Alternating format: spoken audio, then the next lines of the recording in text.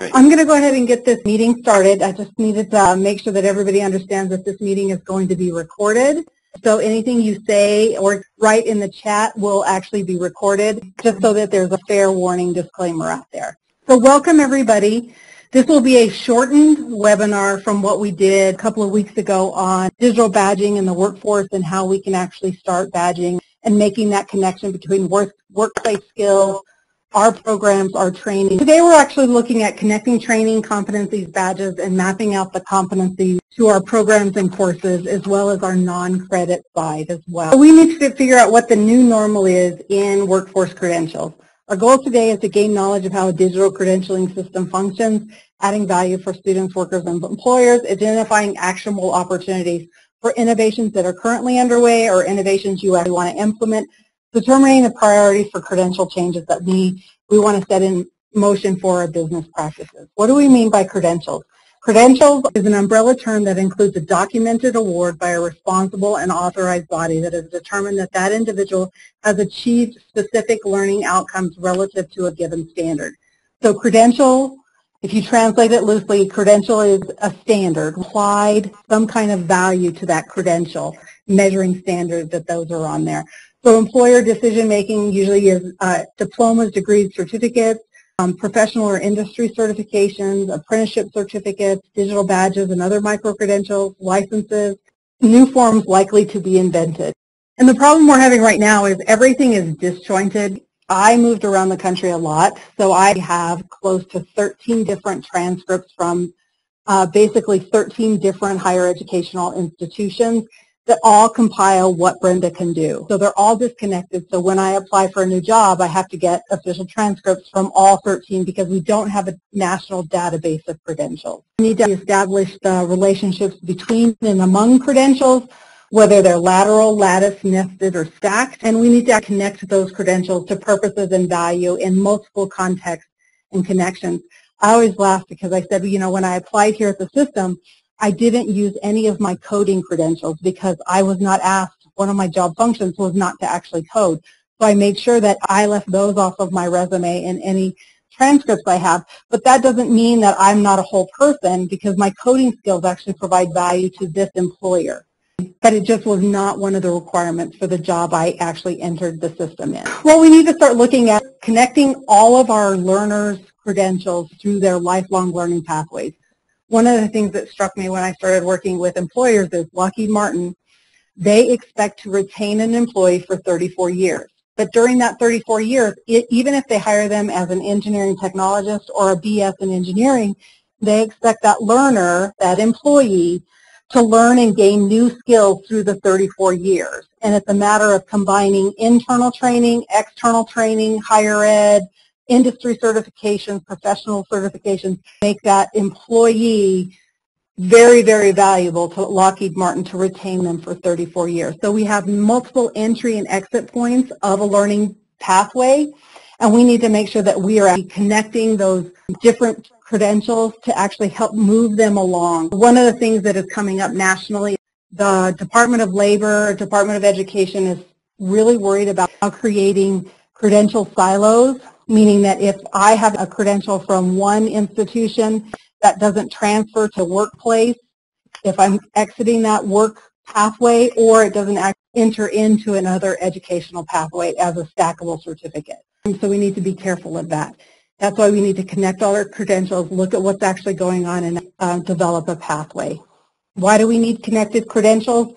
Right now, the workplace, especially from an employer viewpoint, they're looking at competency, what a person can do on the job site, usually based to industry standards or they're looking at professional standards. And when employers can see details of those experiences and skills and knowledge of an applicant or a worker, it actually helps the hiring and the talent management process by focusing on validated skills and future potential. However, there's a fundamental communication gap where employers aren't sure what credentials they include, what the actual credential itself includes, and that students aren't equipped to clearly express their competencies based on their credential. We've seen by speaking with employers, if somebody asks them, well, what classes did you take? They say, oh, I took MAC 202, I took MAC 201, I took whatever, and they list it, does not give an employer any idea of what that student can actually do, that applicant can do, or that actually reskilled worker can do on their shop floor. So we need to be very conscious of the fact that when we talk about credentials, it doesn't have the meat behind it that employers are looking for. The result is that we have a highly fragmented patchwork of credentials that presents major challenges for employers, students, workers, and government funders, attempting to compare and evaluate the major features and overall quality and value of the different credentials. Because remember, employers might get a, a, resume that has MIT credentials or a CU Boulder credentials or even a Front Range credentials. How are they to determine without an explicit record of what competencies that student can do, which is the best fit for their, their position?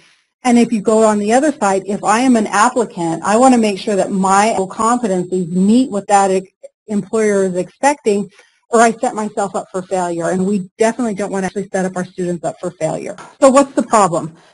We definitely have a lack of transparency in our credentials. We need to actually give meaning to mid-career military veterans. We're getting a lot of veterans into our system, and how do we equate what they've done on the job with the military as to learning, and how does it fit into our programs, and how does it fit into the workplace? Dislocated workers. We know that a lot of our welders in 2014 were pulled to the North Dakota oil fields with the skill sets that they actually needed, but they never completed their certificate or degree programs within the Colorado Community College system. Now that the oil fields are actually being retrenched and shut off, those, those workers are coming back to Colorado and needing to gain skills or refresh skills or to get some type of credential so that they are valuable inside the Colorado workforce. We also have non-traditional forms of education. We have former college students who need a way to aggregate old credits with new ones, especially in the IT and healthcare fields. And people with degrees and certifications who need to refresh or expand their knowledge or skills. Sometimes we're talking about career switchers, right? So you might have a, a bachelor's degree in engineering, but you decide you want to go into teaching. And how do you bring all those skills together so that it, it creates a new pathway for you. Why do we need something different? If we look, employers have trouble finding and retaining people with the skills they need. In 1973, only 28% of the jobs required a post-secondary education. Projected by 2020, 65% of the jobs are going to require some form of post-secondary education. And so with that requirement means a way to actually credential that learning. In a survey of 126 CEOs of major U.S. companies, 97% of the respondents cited that skills gaps is a problem for them, and 62% reported that there is trouble finding applicants for jobs requiring information technology and advanced computer knowledge. So even if we're preparing our students for a welding degree, we need to ensure that they are building in uh, information technology and uh, advanced computer skills as well, so that they can continue on their learning pathways. Why badges? Why now in Colorado?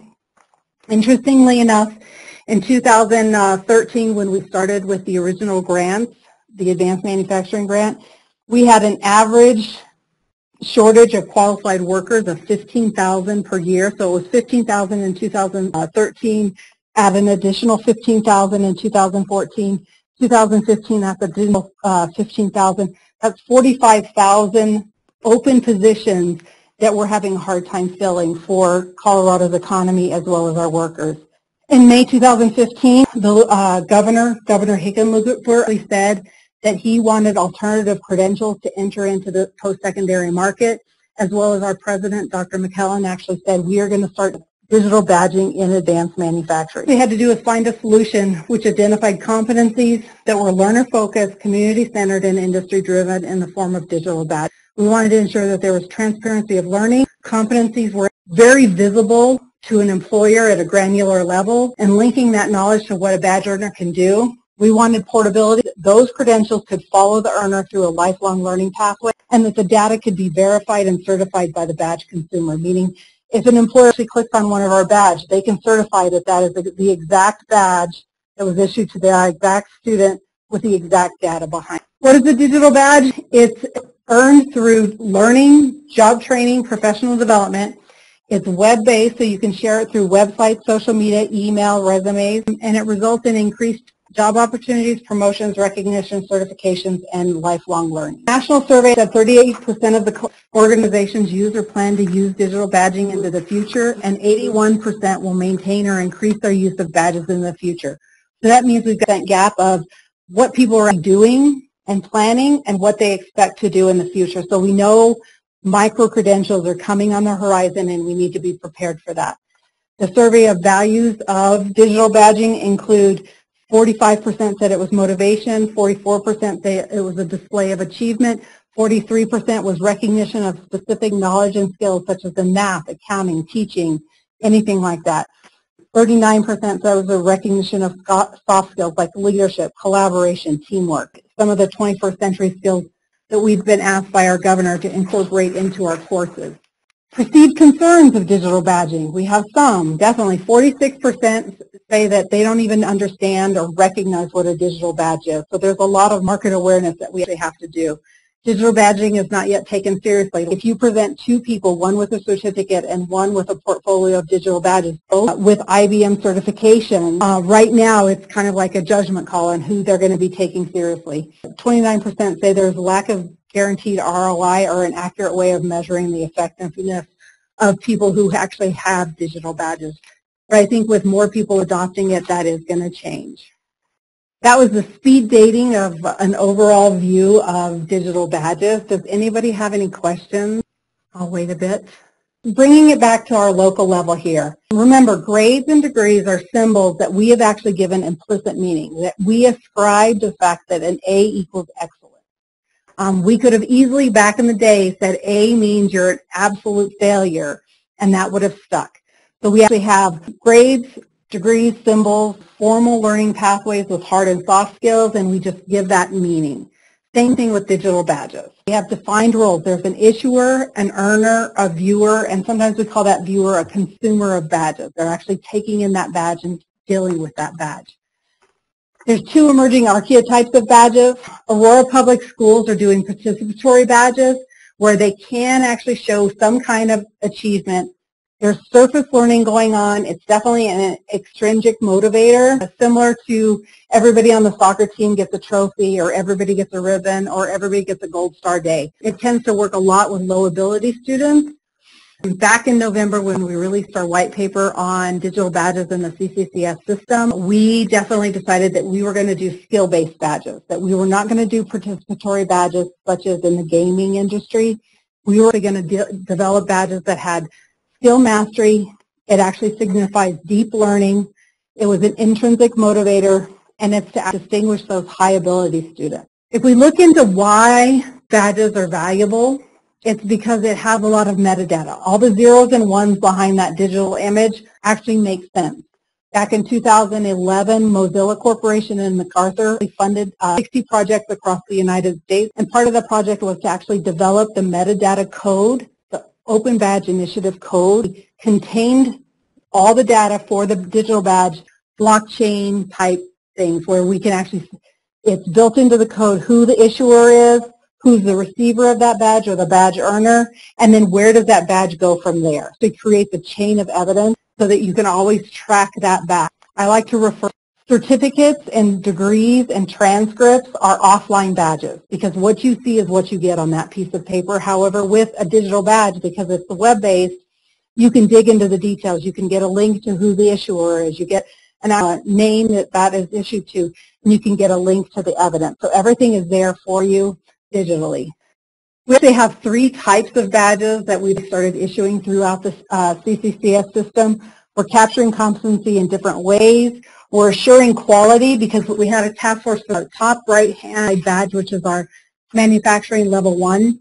We had a task force of all the manufacturing colleges in the CHAMP grant as well as Metropolitan State University who actually looked at all the competencies throughout our program decided that they, they wanted to badge the NIMS standards because not all students take the NIMS test, but we know that that is a national standard that's recognized throughout the United States. That's how we actually developed that group.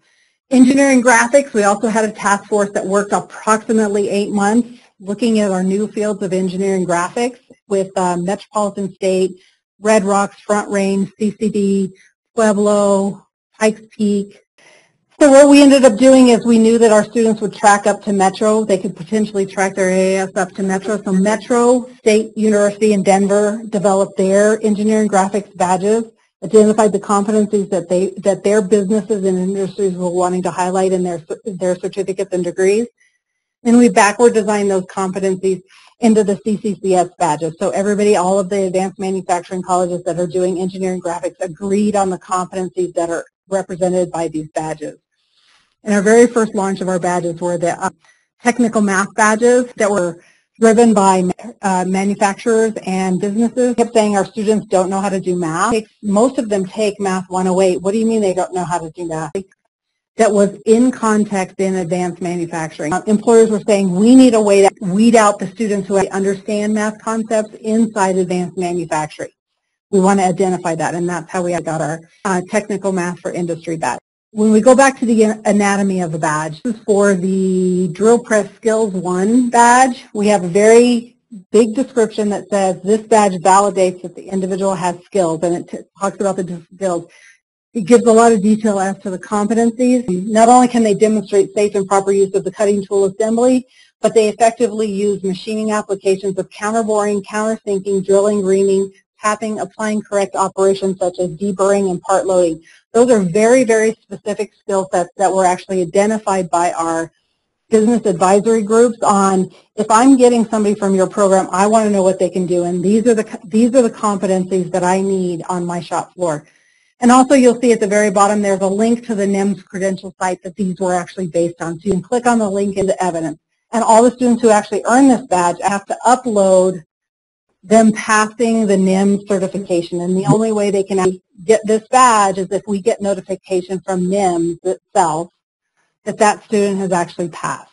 Everybody talks about the validity of badges. It's very easy to verify what's going on because all badges should be based on the OBI code, which gives us very specific and discrete fields that have to be filled out to be a valid badge or based on the same metadata standard. It identifies all the artifacts of the badge and the display is linked to a unique URL. Common uses for digital badging, 70% are for professional or internal training and this is where we start thinking about CFEI partners is that we are actually delivering professional and internal training to those businesses.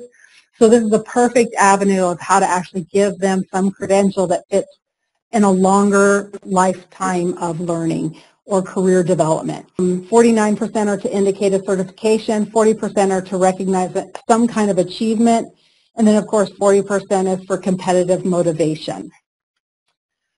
Badges help anyone stand out from a crowd story is one of the reasons why I knew that badging would help our students. Back in 1980, I was a geopetroleum engineering student at the University of New Mexico. Spring of 1980, Mount St. Helens erupted, and my geology instructor canceling classes because I got called up by the USGS, and I'm going to go deal with researching what happened on Mount St. Helens. And he asked for 12 research assistants. I was young and I volunteered. So out of a class of 500, I was one of 12 students who went up for approximately 8 to 12 weeks up on Mount St. Helens and I did pumice testing and I did photographs and I did dome measurements and I tromped all over Mount St. Helens and everything like that. And I had a great time. Matter of fact, I still have some ash left from Mount St. Helens that I saved from my time up there. And so when I came back to UNM that fall 1980, I looked at my transcript. I was like, I did this amazing experience. Nobody else in the world, but like me and 12 other students and my professor actually did that. I look at my transcript and what do I see? I see geology A, geology lab A, and I was just like, oh, okay. I look at all the other 500 students. They also got an A, but they didn't have the same experience as I did. They don't have the field experience of working on one of the continental U.S.'s uh, most explosive volcanoes so there was no way to document that kind of field experience. And this spring, when Mount St. Helens started rumbling again, had I only had a digital badge that said I was one of 12 people who actually took measurements of the Mount St. Helens in 1980, I probably would be in a different place right now because that type of competency, that type of field experience is very hard to quantify in our current traditional credentialing phase. So with badges, they help anyone stand out from a crowd. They help employers make distinctions between two candidates that look ideal on paper because they are backed by competencies employers understand. So to start out issuing badges, we actually had to establish an ecosystem. So we established the fact that they are all built on competencies. They all have to be assessed in some way. We actually have to compile the metadata, which actually creates the badge. Then I go do outreach to our businesses and companies and actually tell them when you're receiving a badge, this is the kind of information you can get. You can access the badge. Let me show you how to access the badges in Credly. Let me show you how to access badges on somebody's resume. Let me show you how to access badges in something like LinkedIn or Facebook. Then view the metadata. Actually look at the metadata that tells you the competencies this badge is based on. You can map those competencies to open job positions, to talent management. to look on how that's actually fit. Lockheed Martin, I like using Lockheed Martin because they talk about it for a satellite, they actually move that project team onto a different project. And it's not like you can take that same 10 people and move them to the to a different satellite because that satellite might have different needs for what they're actually building. So in the talent management system, it says, oh, I, I need somebody who does spatial relations in deep space, and I need somebody who can work in, actually understands how metal reacts in different temperatures, and so they can start building more effective teams in their talent management system.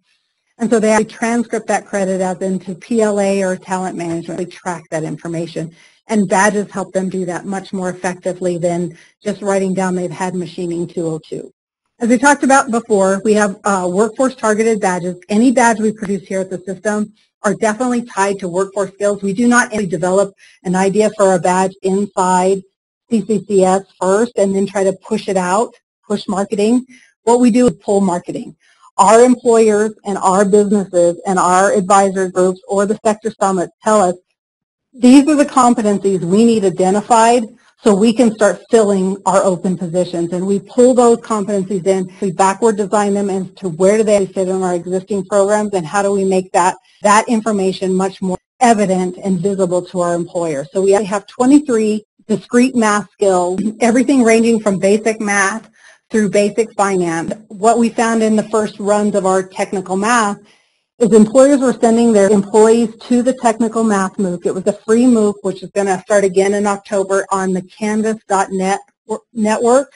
So those employees were coming into the MOOC, and that employer was saying, I need you to know more about geometry so you understand the relationship between volume and solids and angles so you actually bore a hole in this metal much more precisely.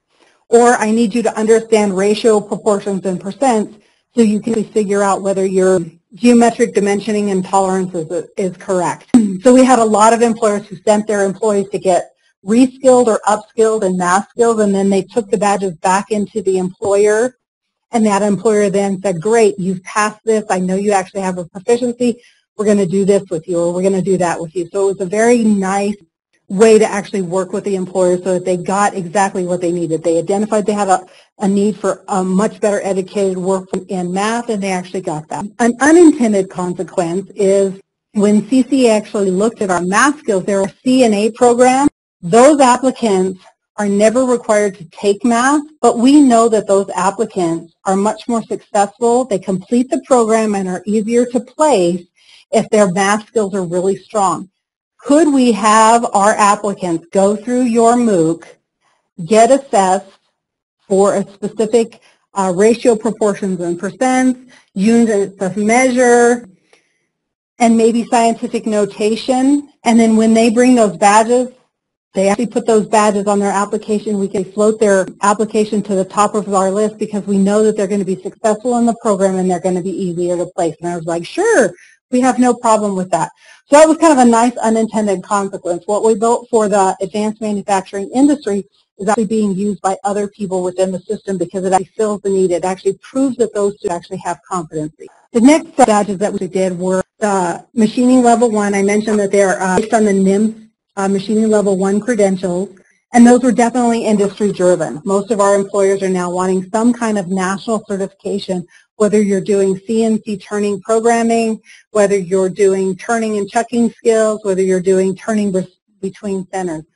So when our students who are able to actually badge in addition to their programs, our advanced manufacturing employers are looking for these badges.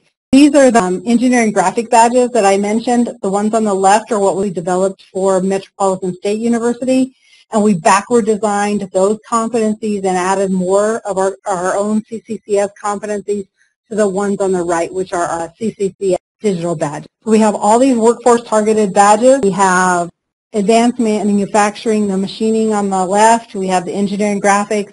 We developed through a task force that we ran about nine months for faculty development because we saw a need inside of CCCS that if we have a faculty member who's teaching at CCD, they want to have the same level of competency or skill when they actually go to Front Range and teach part-time. So we have that as well. I'm going to go ahead and stop right there to see if we have any other questions going on. Again, the speed dating of how badges fit in the larger ecosystem, how they've actually been launched out throughout the CCCS. I was just down at Pikes Peak this week, and one of the conversations we got into was they just started instruction, a high school to a two-year college program. And we're talking about how to identify those skill sets that are not nationally certified, are not locally certified, but that make your students much more marketable for employers down there. And so I think we're going to be working for, on some construction badges between now and March, and we'll end up sharing them with community college. So we'll probably have anybody who has a construction type program get together in a task force and start developing the competencies for those badges. So that's what's coming up, and it's kind of exciting.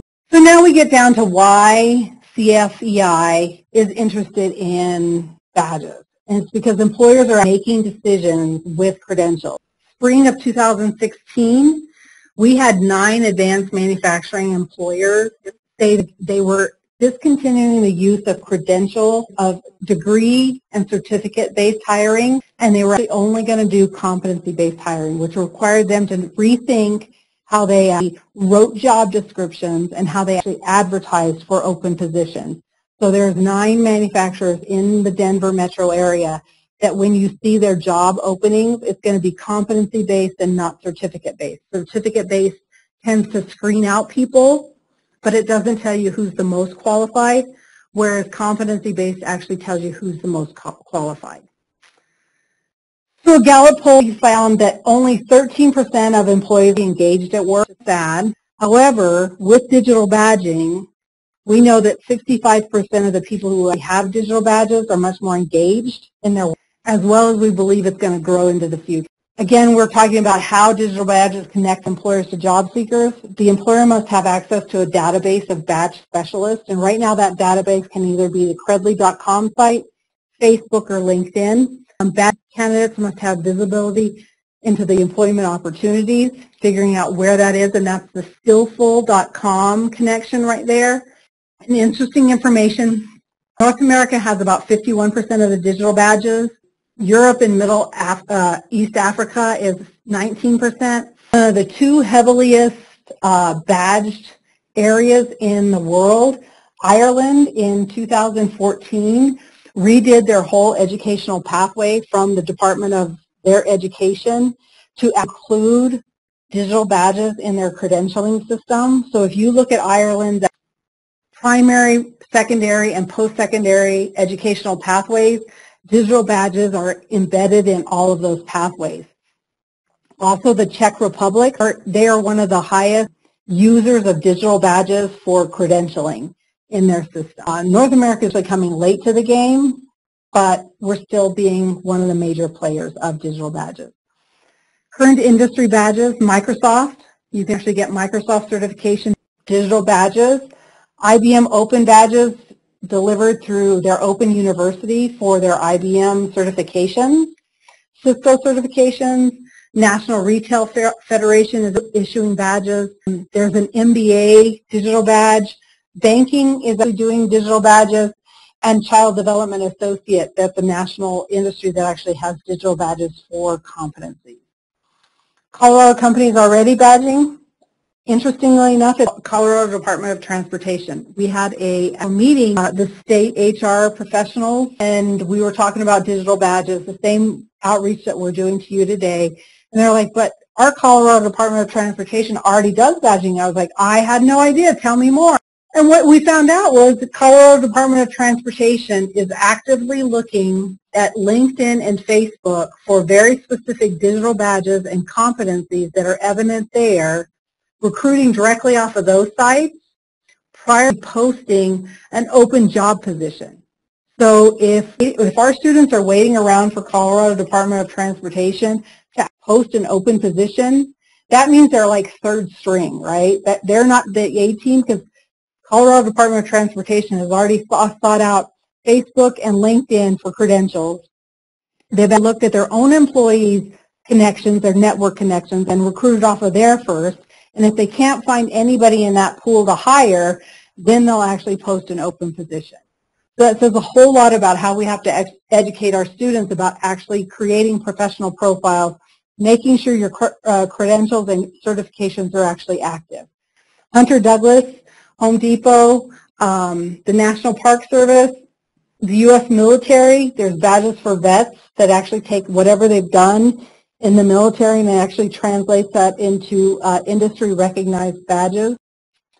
Real world example. I already talked about Colorado Department of Transportation. IBM, it started external badging for industry recognized IT skills, um, but they quickly realized that they were missing a huge segment of their own workforce talent.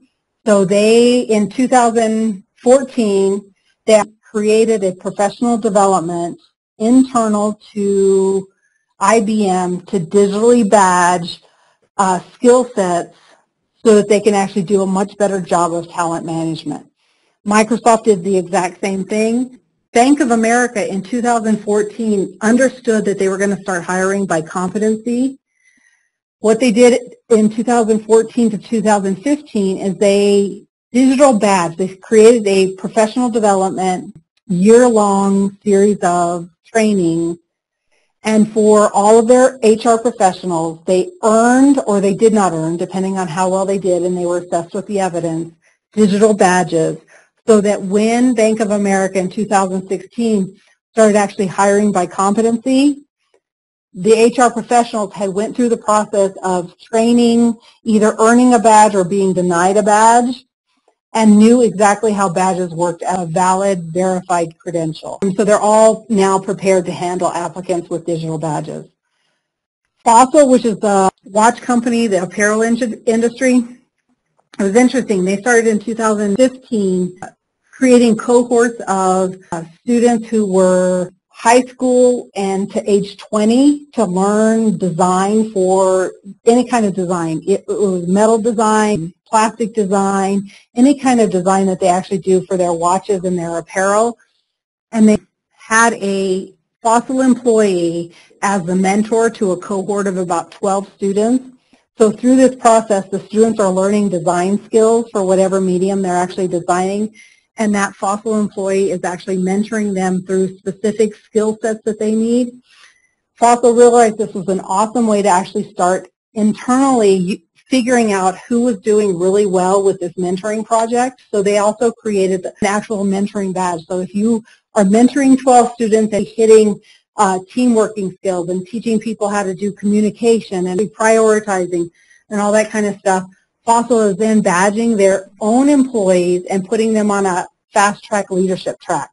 So Fossil actually started off with the idea of let's badge students, badging the competencies that we need in our entry level employees, but realized that mentor was actually providing super um, leadership skills and developing their own professional development, and they're actually badging that. So that was a really cool example of how Fossil took the idea of badges and used it for themselves. What's really super interesting is the impact of digital badges have on social media. As of two weeks ago, I pulled a badge report. So we have 67 badges that we've created for our system.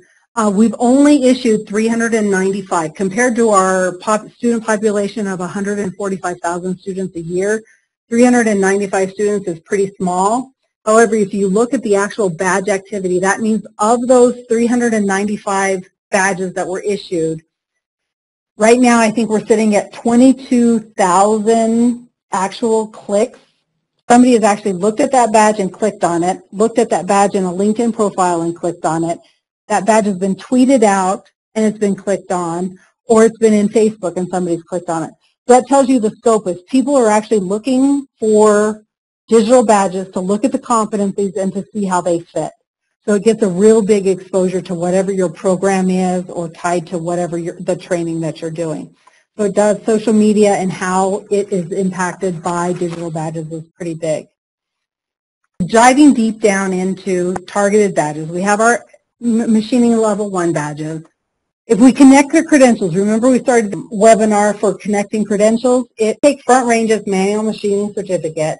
Through that certificate, students will be able to sit and test for six digital badges. If they then add a CAD-CAM certificate to that manual machining certificate, they can then add an additional four badges. So we have we have paper certificates as well as digital badges within our program.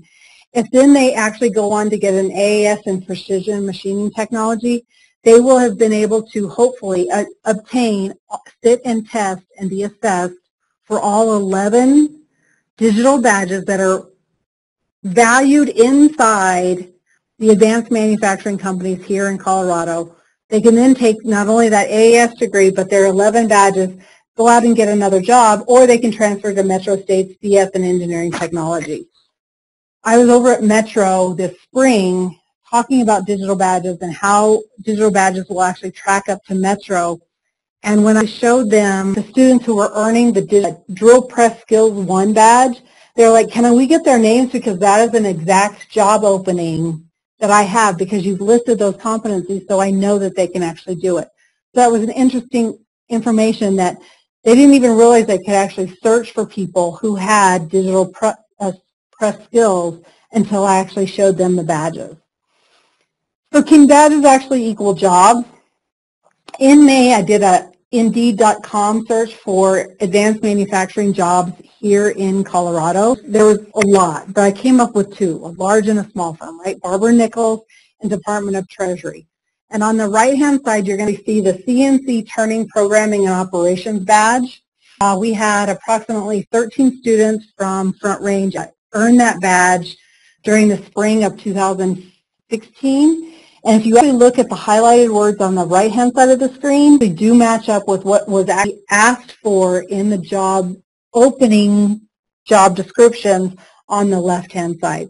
So it gives an employer a one-to-one match on the skill sets as well as it gives that applicant, yes, I can do that, and here's how I can show evidence that I actually have those competencies.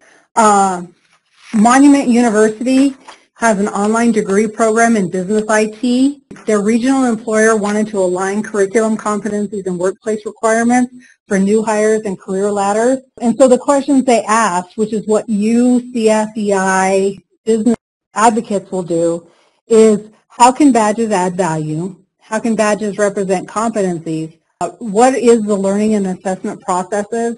What is evidence of mastery and competence? Because that's a really hard thing for employers to actually talk about is what, what is the mastery of this competency? How do you know they can actually do it? And when we talk to our faculty, we say, okay, well, how do you know they've mastered that competency? We've taught them that, but that doesn't mean they necessarily have mastered the competency. And who validates it? We know right now we have several different ways of validating the actual competencies. Some of it is uh, industry standard testing. Some of it is project-based. Some of it is actually having to design and develop something on their own. And how will the badge actually be evaluated within the system? So there's lots of things to have a conversation about when you're talking about your training programs and how do we fit these alternate credentials into their training program. Use cases, consider with a large firm, they have to anticipate uh, Lockheed Martin again. Um, they can hire a BS in engineering new, uh, brand new graduate, and they usually hire them at approximately 120000 a year. In that first year, they usually put about uh, $36,000 into training and upskilling and mentoring them through that first year. So by the end of that first year, they have $156,000 invested in that employee, and it's very hard to turn loose of a bad fit, if they don't have the competencies, when you've invested $156,000, whereas they could take an AAS student that actually has these badges that tell them their competencies and actually have a much better fit and a much better return on their investment in that employee. Also, what, what kind of training do they need throughout a time frame? Um, can we match the skills and competencies from project to project? And how do we actually identify what competencies are creating churn in an employment place?